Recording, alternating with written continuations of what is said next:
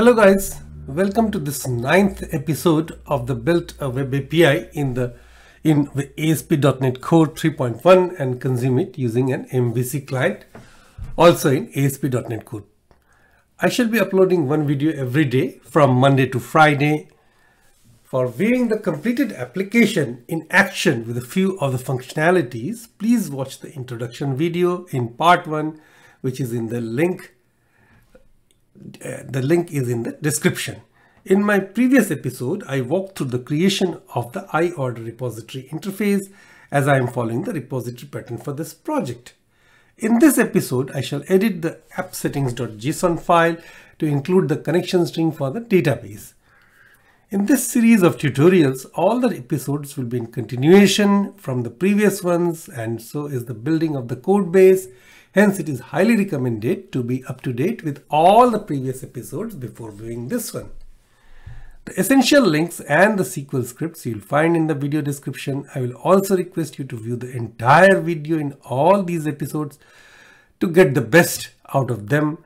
As always, every suggestion and feedback are welcome and please subscribe and share this channel and click the bell notification icon to get the latest in the uploads.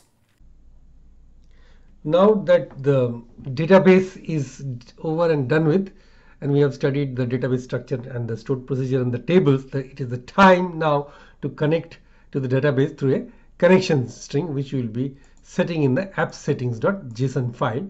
So by the end of this lecture, we shall include the database connection string with the app settings.json file. Okay, so let's switch over to Visual Studio now. So once again, within the Visual Studio, I have opened the opened the app settings.json file which is at the root level of this project and we have got the app settings.development.json but which will we can keep unchanged and this is this app settings.json that will be changing. So all you need to do is to put a connection string which I have got on my clipboard.